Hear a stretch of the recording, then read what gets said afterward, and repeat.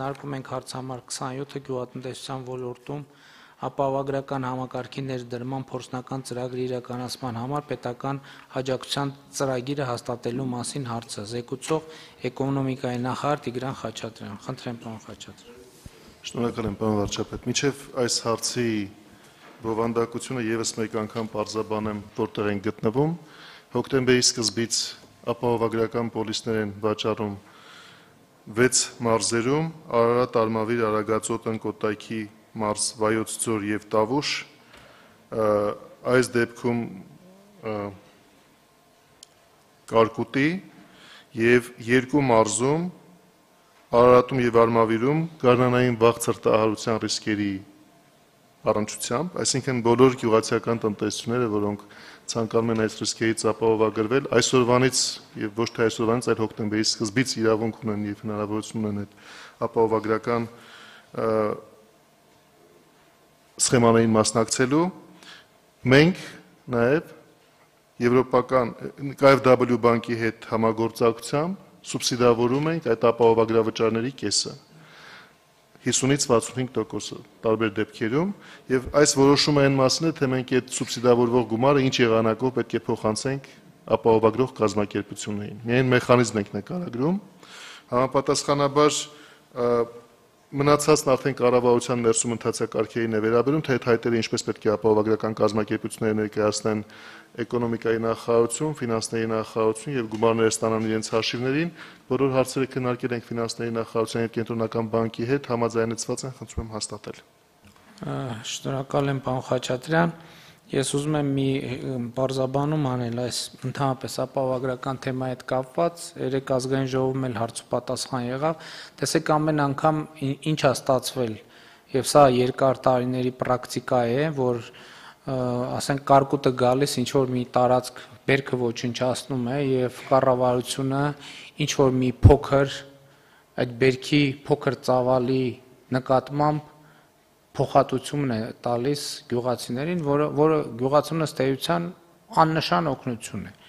Հիմա այս համակարգի ներդրման հետ կապված կա մի կարևոր առանձնահատկություն։ Կառավարությունը պոլիսների, ապահովագրական պոլիսների գնի կեսը որոշ գնի կեսը վճարում է 50%-ն է վճարում պան Խաչատրյան թե երբեմն 50-ից 65% 50-ից 60%-ը մենք վճարում ենք այսինքն այս ապահովագրական պոլիսի 50-ից 65%-ը այսօրվանից, որ պահին գյուղացին գյուղացիական տնտեսությունը գնես, մենք այդքանը փողը մենք ենք տալիս։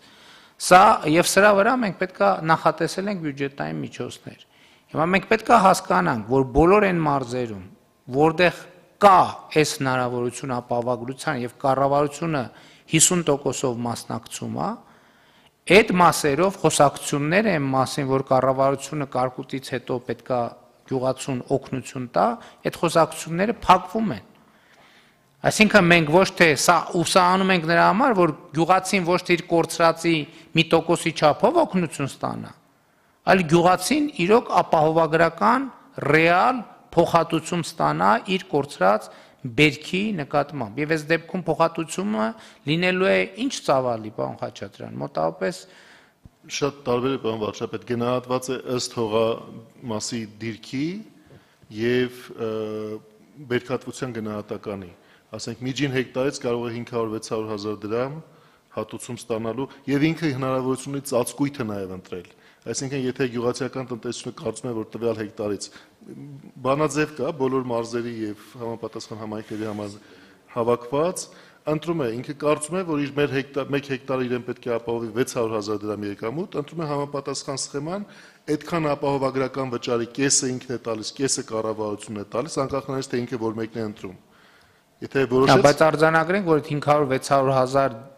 ծածկույթի դիմաց վճարը 500-600 հազար չէ, 50-60 հազար 50-60 հազար դրամ, այսինքն սա շատ կարևոր է արձանագրել, որ հանկարծ թյուրն բռնում չի։ Չէ, իհարկե, հատուցման մասն է խոսքը։ Այսինքն իր ընտրությամբ ինքը ընտրում է թե որքան է կարծում, որ իր կորցրած եկամուտները կլինեն, եթե այդ ռիսկը տեղի ունենա, Դրան համապատասխան ապահովագրական վճարը 10 անգամ մոտ ավելի ցածր է, քան այդ հատուցման գումարը, որ, որից ապահովագրվում է, եւ դրա կեսը տալիս է կառավարությունը։ Այսինքն կառավարությունը փոխանակ, այսպես ասած, սպասի, որ այդ մի հեկտարից մի հեկտարը ջարդվի, հետո այդ մի հեկտարի դիմաց ասի գյուղացի եկեք ձեզ 30000 դրամ տամ, սրա փոխարեն ասում են հարգելի գյուղացի, եկեք մենք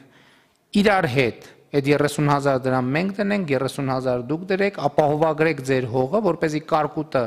Աստված չանի, երբ որ գա, դուք ստանաք ոչ թե 30000 դրամ, այլ ստանաք 500-600000 դրամ։